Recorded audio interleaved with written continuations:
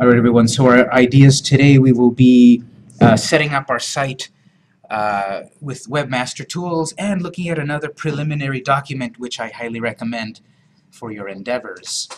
So let's go to the desktop and open computer.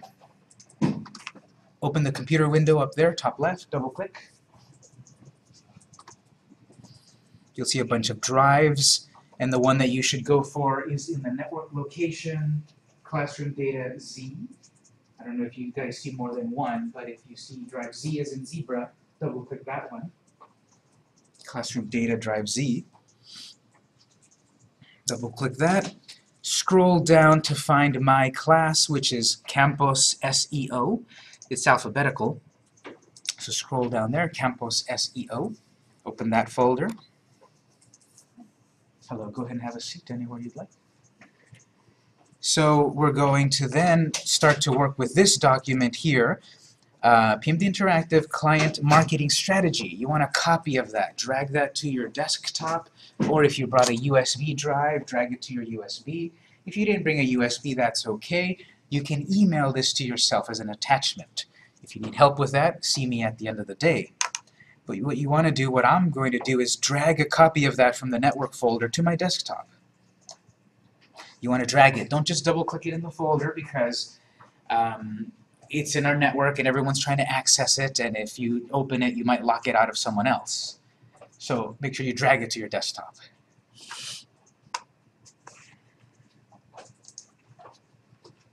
So once you've dragged a copy of that, the client marketing strategy. Let's open it, let's double click it, and we'll go through it together. If anyone needs any help getting that, call me over. Remember, you can help each other out, no problem. But then I do ask that you mind that we're in a classroom and you keep it down a bit. Help each other, but then don't uh, distract the whole class, please. Let's check this one out. This is the marketing strategy. Again, as I said before, I teach this stuff, and I'm also part of a company that we do this stuff for a living. We do it for real clients. We charge them, and we know how uh, paying clients are once they don't get their, once they, if they don't get what they're asking for. So what I'm showing you in these classes are things that, that my company does for real clients, so I'm teaching you the real world stuff.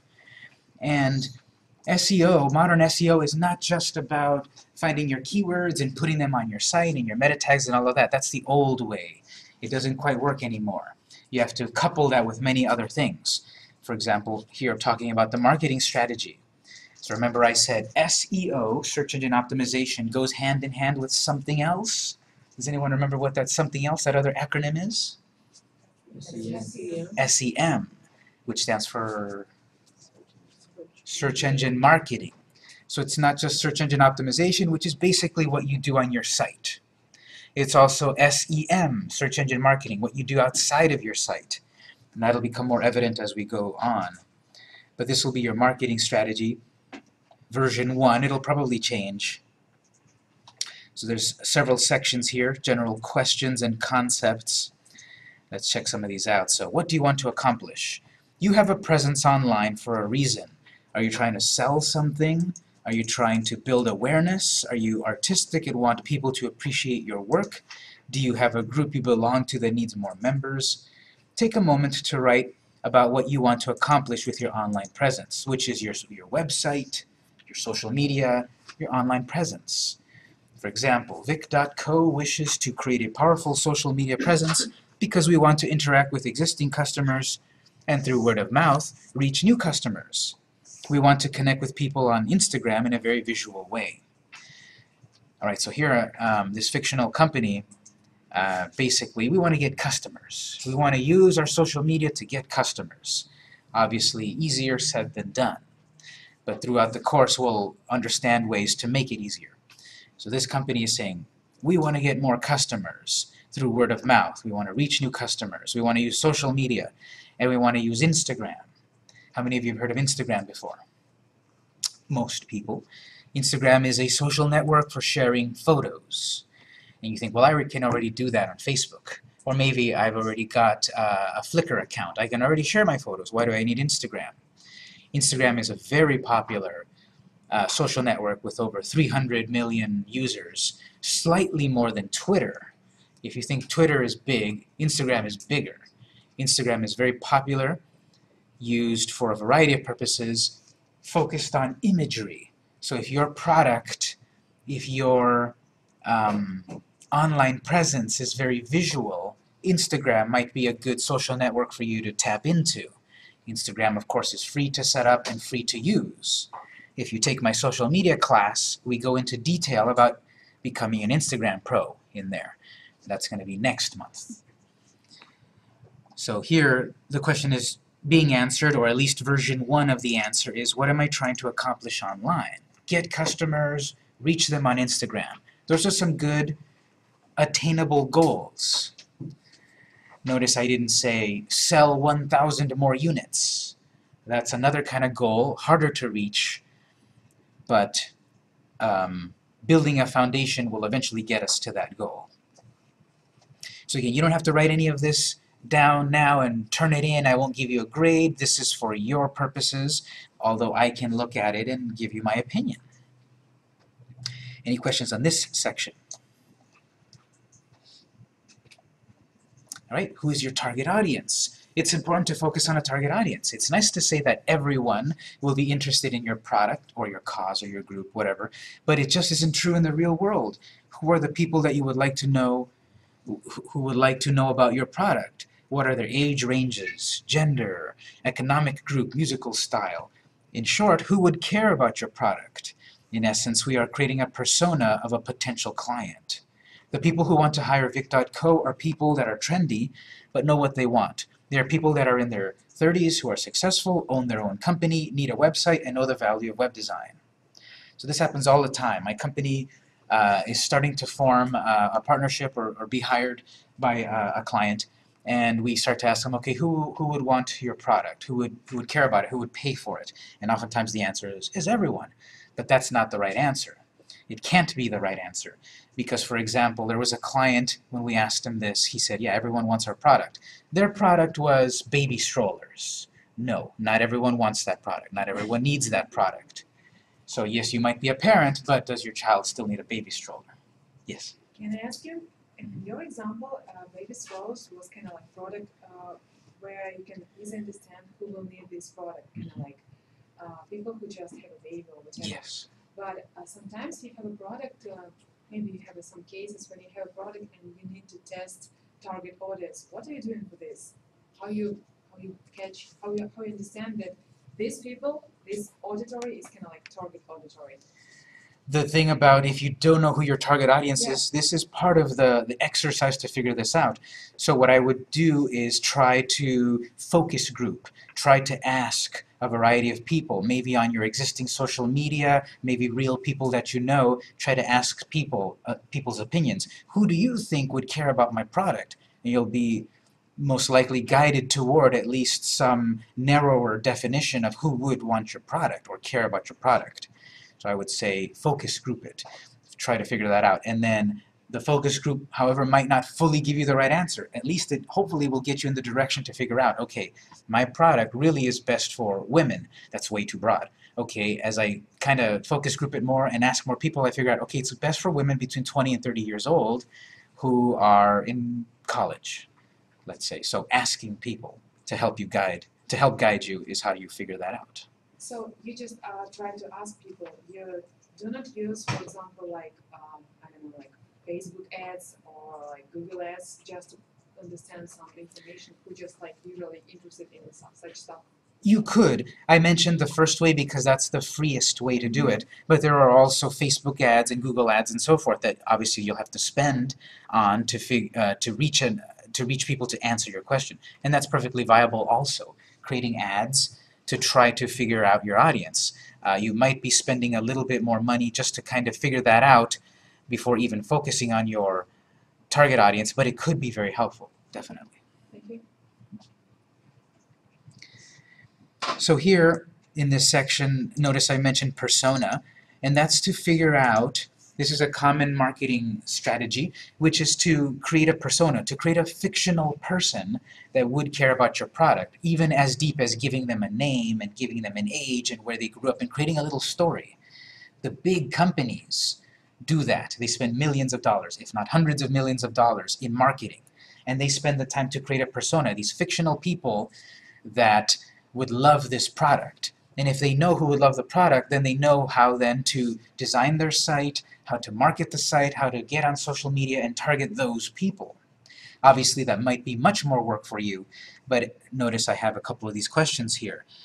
What do you think the age ranges of the people that would care about your product, their gender, economic group, you know, high, middle, low, upper middle class, lower middle class, upper upper upper higher class, I don't know, you have to define uh, as best as you can these people that would care about your product. And in the beginning, again, this might be way too much of a nebulous question to even be thinking about it, but I want you to start thinking about it because it'll help you in the long term to be able to target an audience. Yes? In that, how would you figure out the economic group? This is uh, pretty much on your opinion at the moment. You may think, okay, I'm going to try to target my product to the to people that earn $20,000 a year because they can afford my product.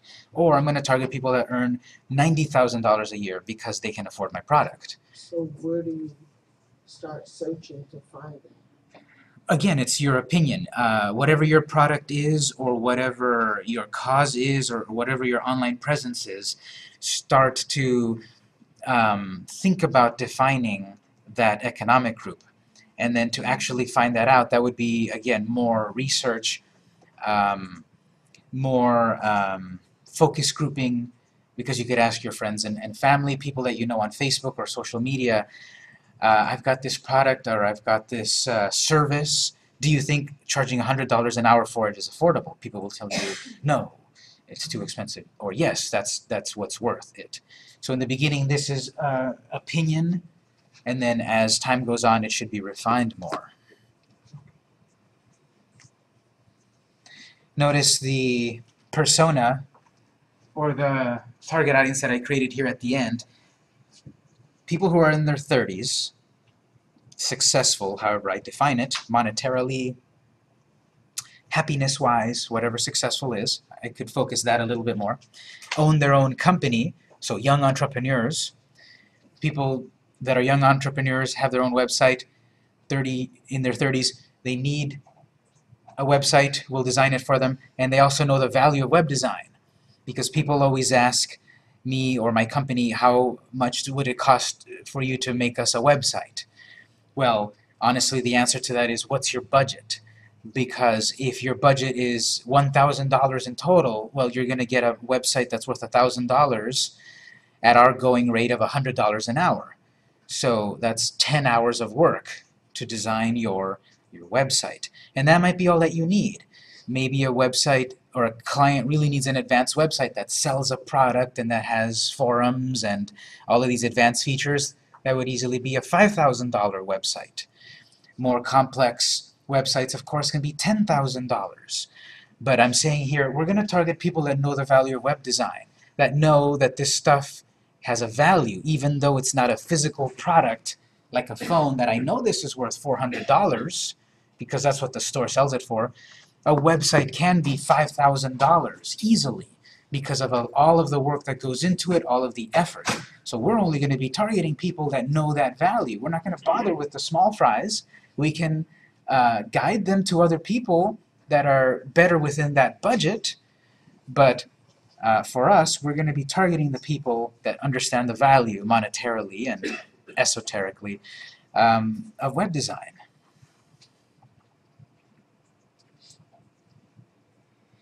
Do you have any aspirational competition? It's good to have role models both in life and in business. Is there a business you see that makes you think, I want to be like that? Or a business that makes you think, I want to do that, but better?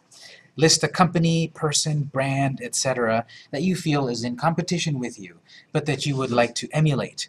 Why do you want to emulate them? Vic.co feels that XY Designs is our aspirational competition because they are well known in the field of web design and their style is unique and modern. So here you have to look who's the competition. Remember on day one last week we did a bit of that.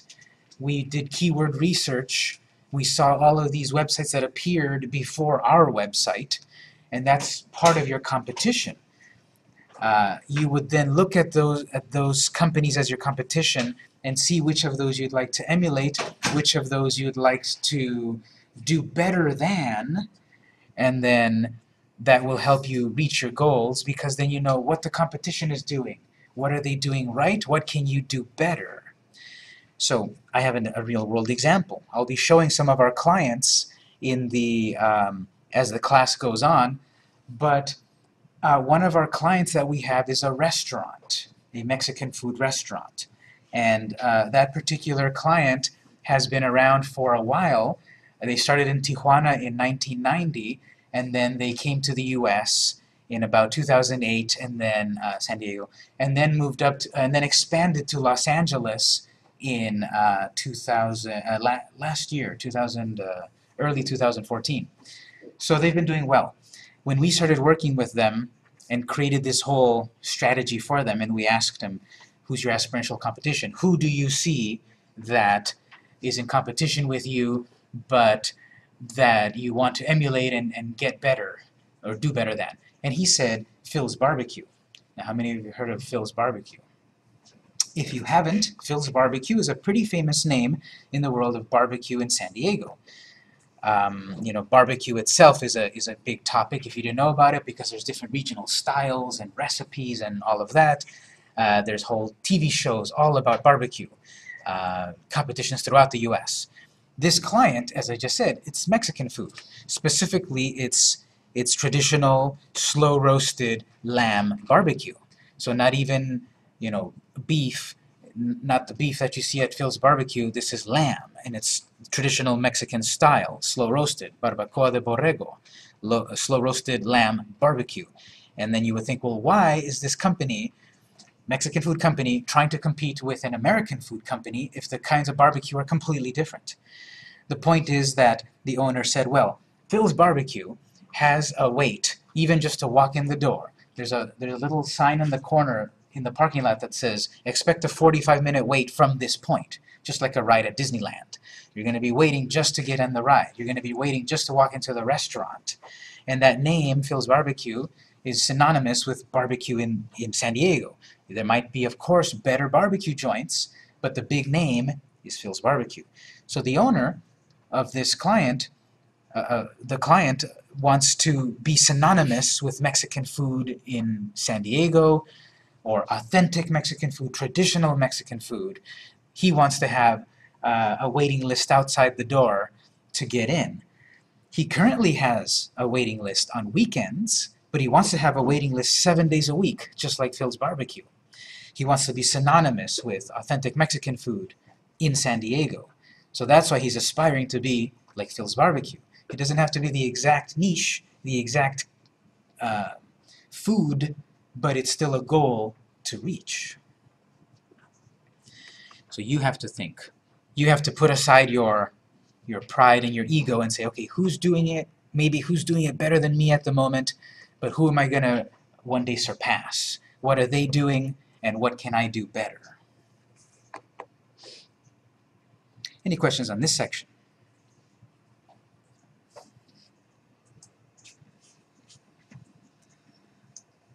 We've got vision statement. A mission statement from last week tells the world where you stand. A vision statement tells the world where you're going. Write a statement that makes predictions about what you want to accomplish as a company or brand. You may set a time horizon, five years for example, also. Vic.co will be known for providing eye-catching web design for San Diego's most elegant restaurants. So my previous mission statement might have been talking about our mission is to create great websites at an affordable price, etc., etc. But our goal, our vision in five years or whatever, is that we want to be known in the world of uh, the restaurant business as the go-to place to make a website. So the the um, we want to be targeting restaurants we want to be known to the restaurant um, demographic because we make eye-catching websites.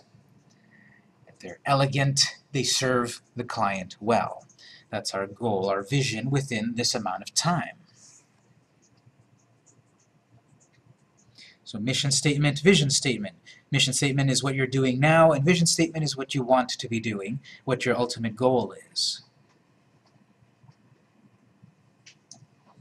And then there's the USP, the unique selling proposition. What do you provide your customers that no one else can? What makes you stand out from the rest? How do you uniquely solve their problems? Answer the question of why. That is, why would a client hire you? Vic.co is based in San Diego, and many of our team graduated from Southwestern College, San Diego State University, and UCSD. We therefore know the local culture. We can create compelling websites that cater to San Diego companies. So you can get a company that does web design from all over the US, all over the hemisphere, all over the world. You may be able to get a very affordable website from someone doing it in Canada, let's say. But they're not San Diego based. Maybe you are a company that really has, that's San Diego based and really wants to target the San Diego audience. So our unique selling proposition is that we're here in San Diego. We know the culture. We grew up here. We went to these schools. Uh, we know the lingo. We know the hotspots. We want to create a site that caters to you as a San Diego company. That's one of the things that could make us unique. So you have to think, what makes you unique compared to every other web design company, every other realtor, every other dog walker, etc. What makes you unique? What problem do you solve? Why would a company hire you compared to the rest?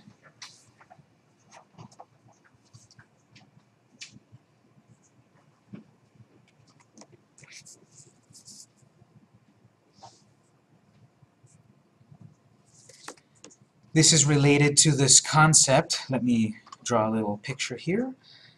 Let's see.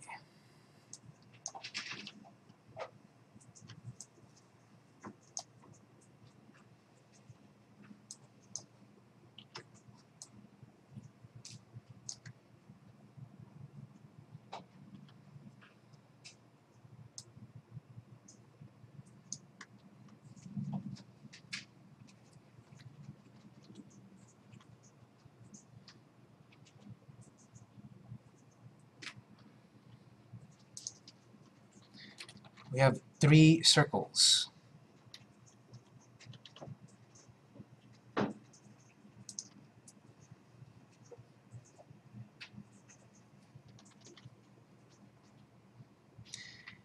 And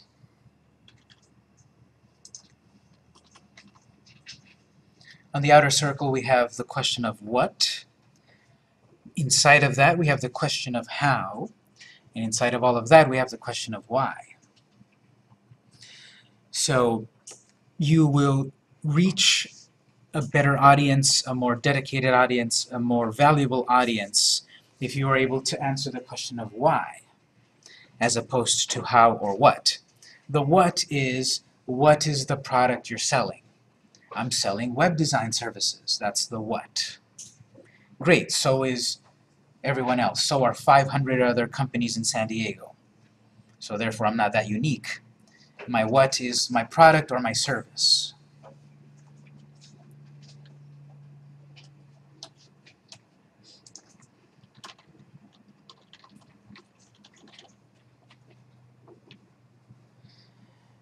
Um, the how is, well, okay, how are you going to accomplish that product or service? Um, or how is it going to, uh, how would the client use it? Um, how will I uh, sell them the product? Um, how is my service useful? Um, so in this case it would be its usefulness. So how?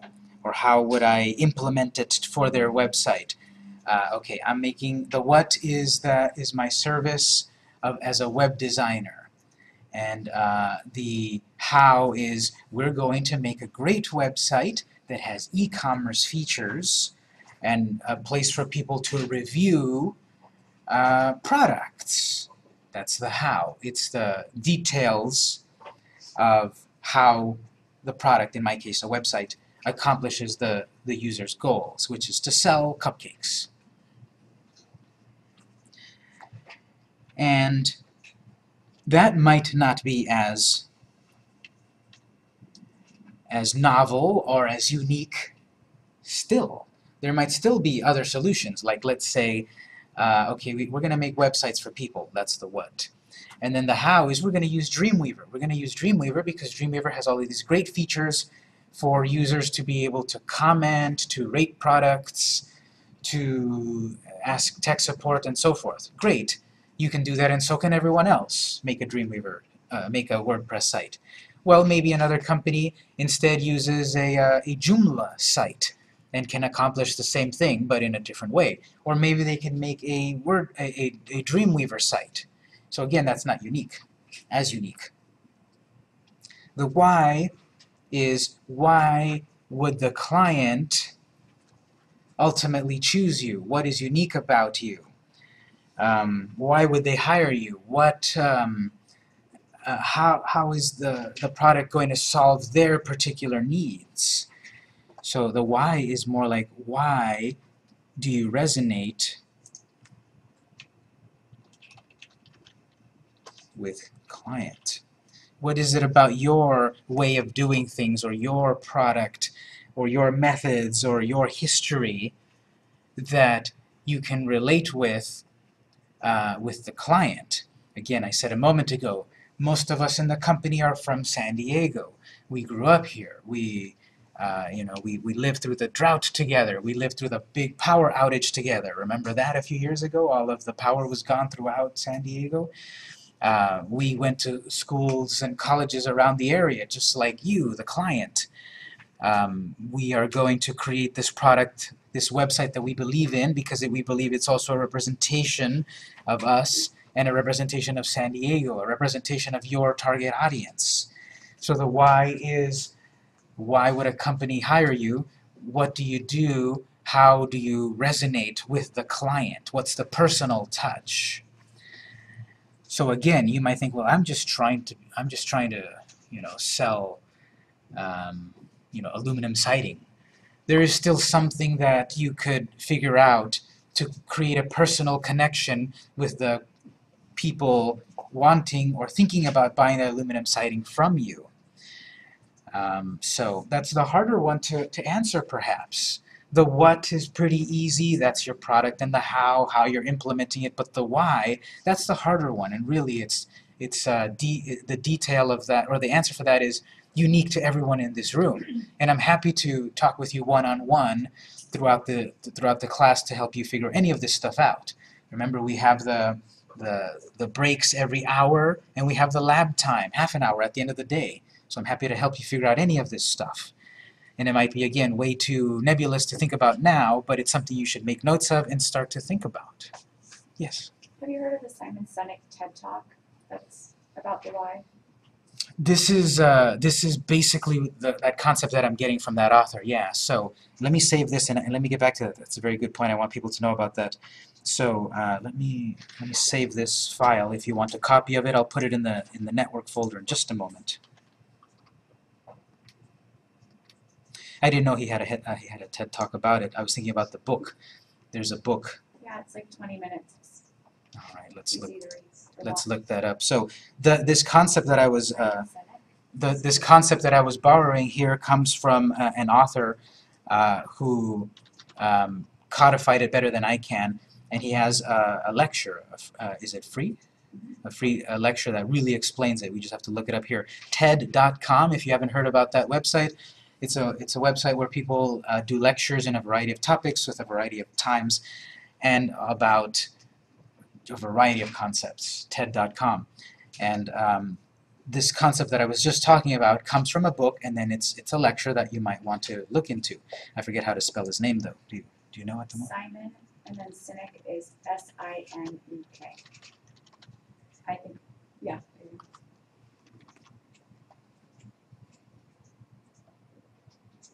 Um, I want to say it was the first one. So if you go to TED.com and then search the author's name, Simon Sinek, uh, you'll find a couple of his lectures and uh, probably the first one here. Oh, there it is. Why? So um, has a simple but powerful model for inspirational leadership, all starting with the golden circle, which we just looked at, and the question why. His examples include Apple, Martin Luther King, and the Wright brothers. So that uh, he mentions that comes from his book, which is uh, very useful. And specifically, he's talking about leadership, but it also applies to marketing, as in, for example, Apple. Uh, love him or hate him, Apple is one of the biggest, most important companies in the world, one of the most profitable companies in history. Again, you might live and die by your by your Google phone or your Samsung phone, but Apple is um highly profitable, inspirational, for better or for worse. And he talks about what did that company do to be so popular, so well known, so powerful. So that's a lecture that I recommend that you watch. It's not that long. And this is a website that I recommend, TED.com, to find more lectures and ideas and uh, inspirational stuff.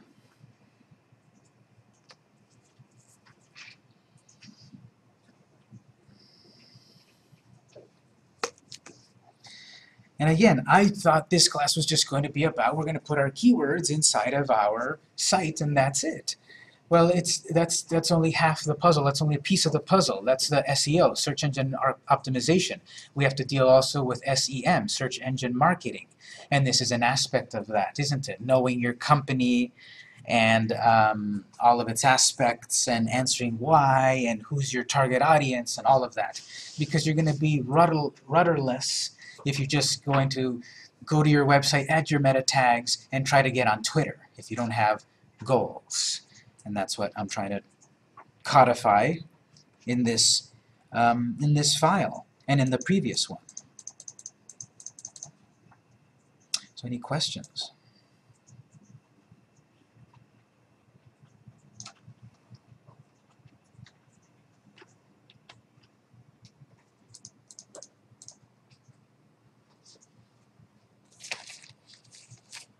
Okay, let's um, let's take our first break slightly early because what I want to do is after the break start fresh to look at the big topic of um, the, the, the webmaster tools. So we'll take a 10 minute break. It's 10 12. We'll be back at 10:22 and then we'll look at webmaster tools.